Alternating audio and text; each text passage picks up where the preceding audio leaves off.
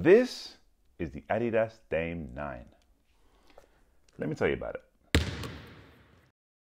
Before I get started, shout out to Bapesta for sending these through. I appreciate it. In the green camo colorway, these are cold. As you guys already know, Damian Lillard and Bapesta have been in cahoots for years now, and I'm really feeling this colorway. So let me get into it right quick. First things first, the traction. Now, modified herringbone, which has never failed me, I don't think, in any of my reviews in the past.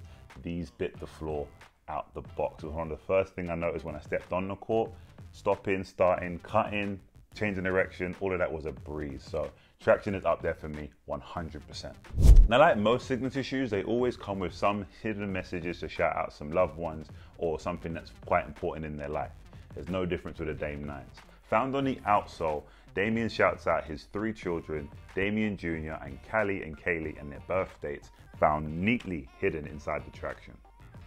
I like that. Family man for sure. Talking about the cushioning setup, it's light strike throughout and there is a lot of it. So impact protection is no problem. Straight out the box, these were cozy.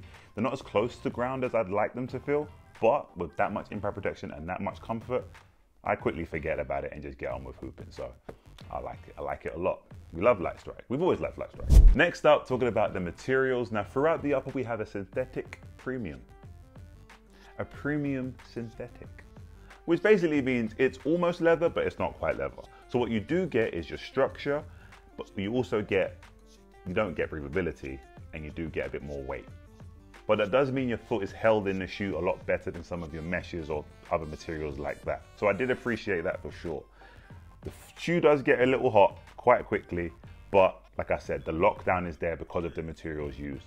To connect the upper and the midsole, there's a rubber outrigger which holds your foot in place. So when you look at it from the front, you can see exactly where your foot is cradled into the shoe.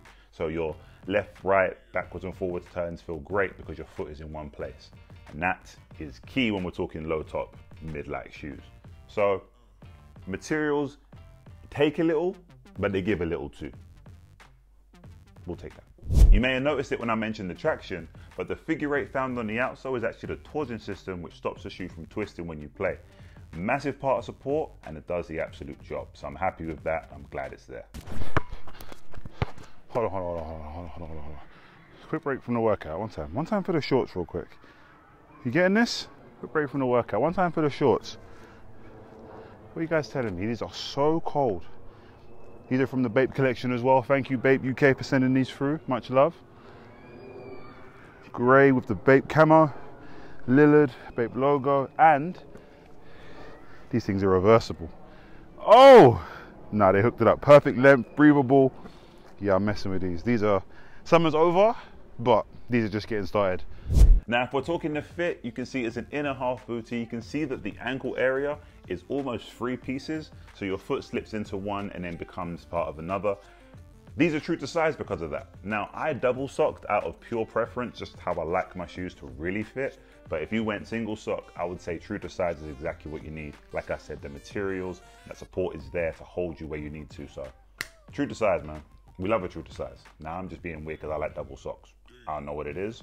It's who I am deal with it. So overall, I'm gonna give these a four out of five. They lose a couple points when we're talking that breathability that just isn't there, and they do add a bit of weight because of those materials I mentioned earlier. But things like traction, cushioning, and the overall fit, even support too, all of them are doing incredible things and I really mess with this shoe, especially straight out of the box. Yes, breaking in's a thing, but out the box, there was a lot of good things I had to say about these.